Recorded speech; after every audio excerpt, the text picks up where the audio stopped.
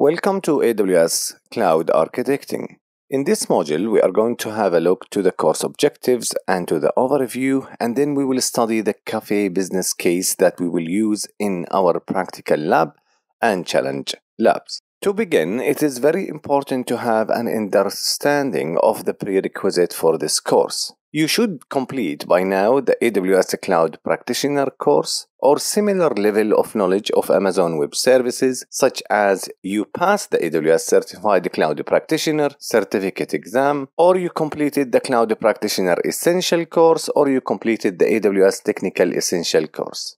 In addition to that, we would like you to have a generic IT knowledge and IT business knowledge. In this course, The Solution Architect, we are going to study 15 modules. We will start by an introduction about cloud architecting, then we will study how we can add to the cafe business a storage layer, a compute layer, a database layer, and how we can create our networking environment in AWS and how we can manage to connect multiple VPCs in the cloud. Then we will look to securing user and application access, implementing an elastic and highly available architecture, and automate your architecture using a CloudFormation. Then we will look to caching content and building decoupled architecture and microservices and serverless computing. In module 14, we are going to do a planning for disaster and we will take multiple exercises and labs in order to study how we can build highly available and highly scalable fault tolerant architecture. In the last module, we are going to look at the certification process. So the cafe business use case that we are going to use to build all the exercises, lab,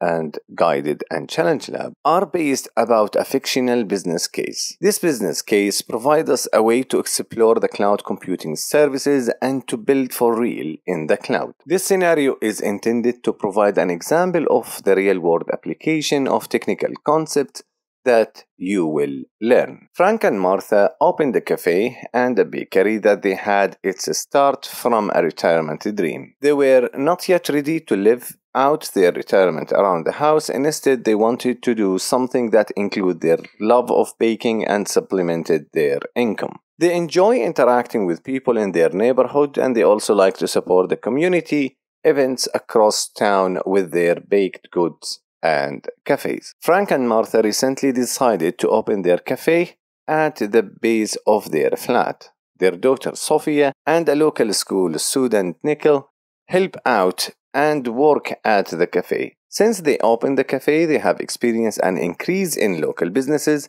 and they also sometimes receive an inquiries from people who travel through the area. So the cafe owner and the staff, we have Frank, the co-owner, we have the Martha of the co-owner of the cafe, we have Sophia, the daughter of Frank and Martha, and Nikhil, we have the cafe employee. We have also Olivia, which is an AWS solution architect who recently moved to the downtown area and she frequently visits the cafe and enjoying talking with Sophia and they will start to elevate the technical architecture of the cafe based on adding multiple layers to make the cafe website and store highly available and highly scalable. We have also Matteo, which is a system administrator and an engineer and we have Faith, which is a developer experience with AWS programming interface.